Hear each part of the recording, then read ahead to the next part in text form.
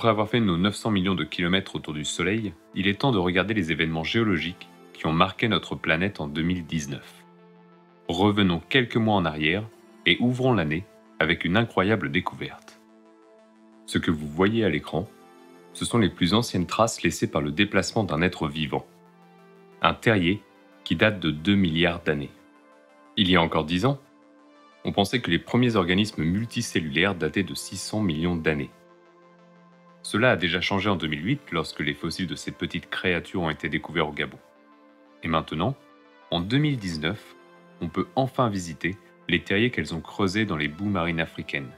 Et cela, il y a 2 milliards d'années. Et décidément, cette année n'avait pas fini de nous surprendre. Un mois après, dans la même revue scientifique, des paléontologues annoncent la découverte de roches ayant capturé tous les événements qui se sont passés le jour où les dinosaures ont disparu. On en a déjà parlé dans un épisode, donc on va faire un récapitulatif très bref. Ils ont trouvé de nombreux fossiles de poissons dans 2 mètres de boue et de sable qui se sont déposés dans une rivière qui coulait ce jour-là. Dans les branchies des fossiles de poissons, ils ont retrouvé des petites billes de verre. Ces billes ont été formées par l'impact de la météorite, qui a éjecté des gouttes de roche fondue qui se sont ensuite solidifiées dans l'atmosphère.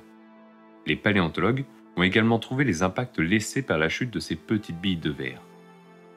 Tous ces sédiments sont ensuite recouverts par la couche d'iridium, formée lorsque la poussière issue de la pulvérisation de la météorite est retombée sur Terre. Les fossiles, c'est peut-être intéressant, mais ce que les scientifiques nous ont réservé pour le mois d'avril était littéralement hors de ce monde.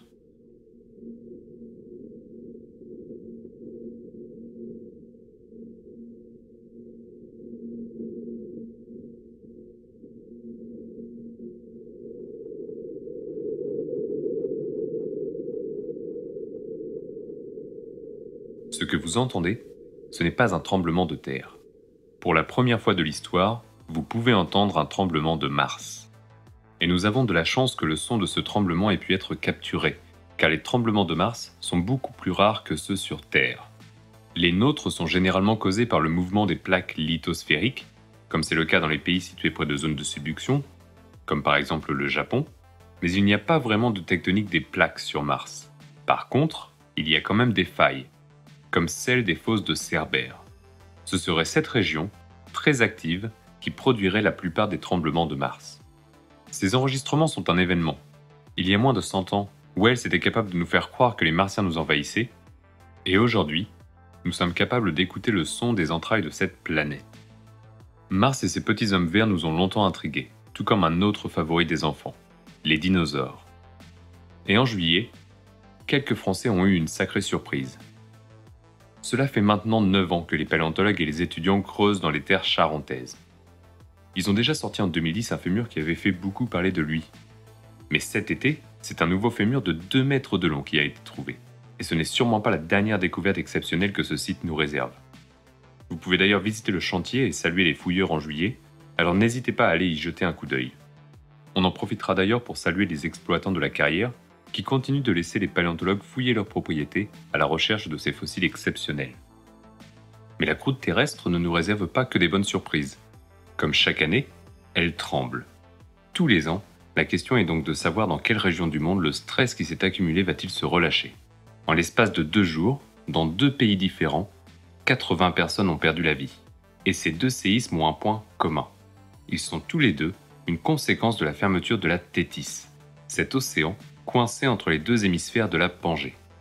C'est la fermeture de cet océan et la collision entre différents morceaux de croûte qui a créé les chaînes de montagnes qui parcourent l'Europe et l'Asie, et qui laisse encore une trace de son activité dans la zone de subduction qui sévit en Indonésie.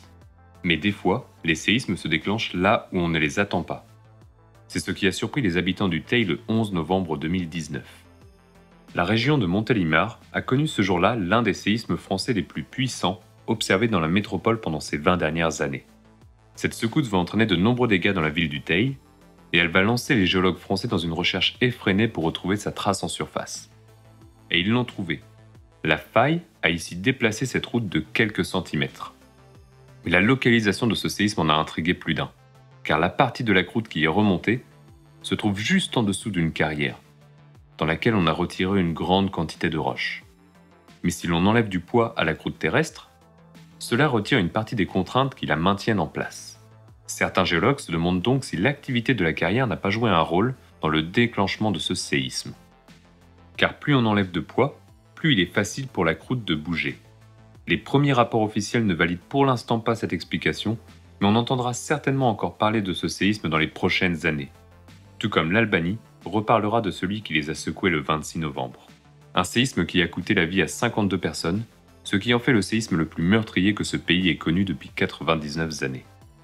La Nouvelle-Zélande se souviendra également de la puissance de notre planète. Le 9 décembre, alors qu'une quarantaine de touristes faisaient le tour du cratère, le volcan de White Island se réveilla brusquement. La surprise est venue du type d'éruption, une éruption sans lave causée par l'infiltration d'eau près de la chambre magmatique. Cette eau va être rapidement transformée en vapeur et elle va être brusquement expulsée hors du cratère, accompagnée de gaz toxiques et de cendres. Une éruption phréatique comme celle-ci engendre souvent un grand nombre de brûlures chez ceux qui se trouvent à proximité. C'est donc en souhaitant le meilleur rétablissement possible aux victimes que nous terminerons ce tour géologique de l'année 2019. On croise les doigts pour que 2020 soit plus riche en découvertes qu'en catastrophes, et je vous souhaite à toutes et à tous une excellente année.